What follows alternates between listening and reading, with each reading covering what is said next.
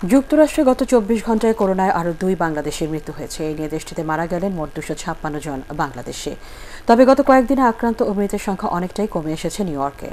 এদিকে করোনার কারণে অর্থনৈতিক বিপর্যয় যুক্তরাষ্ট্র প্রবাসী বাংলাদেশিরা, তবে তাদের নানা সহায়তা দিচ্ছে বিভিন্ন বাংলাদেশি সংগঠন।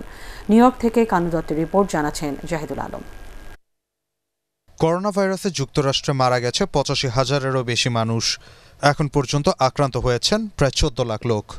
প্রাণঘাতী এ ভাইরাসে গত সাতান্ন দিনে যুক্তরাষ্ট্রে দুশো ছাপ্পান্ন জন প্রবাসী বাংলাদেশের মৃত্যু হয়েছে।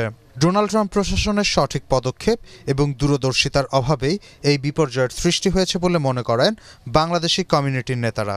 সর্ববৃহৎ, সর্বশক্তিমান দেশে এসেছিলাম, আমরা যারা এসেছিলাম, আমরা অনেক আশা ভরসা করে নিয়ে এসেছিলাম, অনেক বিশ্বাস নিয়ে আমরা এখানে এসেছিলাম, কিন্তু তার আমরা এখানে পাইনি, এখানকার সরকারের কাছ থেকে। সরকারের এদিকে করোনার কারণে চরম বিপাকে পড়েছেন বাংলাদেশিরা। সামনে ঈদ থাকলেও বেশিরভাগ প্রবাসী কাজে যেতে পারছেন না।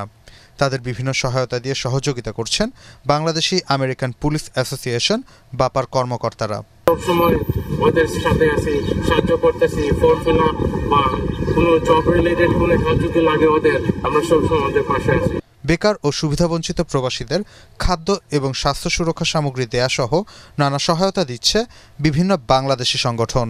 কমিউনিটির এই দুর্যোগের সময় কমিউনিটির পাশে থেকে যতটুকু যেভাবে সহযোগিতা করার আমরা আমাদের ক্ষুদ্র যতটুকু সামর্থ্য আছে সেই সামর্থ্যের মধ্যে আমরা কমিউনিটির পাশে থাকার চেষ্টা। এ অবস্থায় যুক্তরাষ্ট্র প্রবাসী বাংলাদেশিদের চাওয়া দ্রুত করোনা পরিস্থিতির উন্নতি হবে। Bureau report ATN Bangla.